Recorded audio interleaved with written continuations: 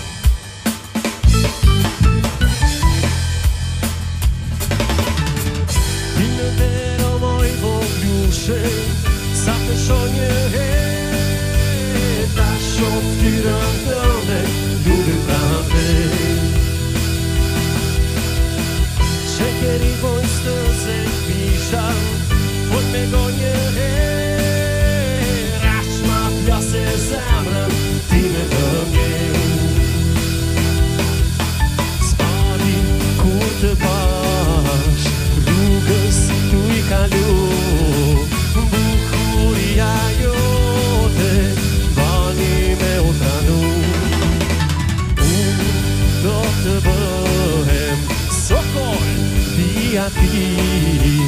do tamago duchen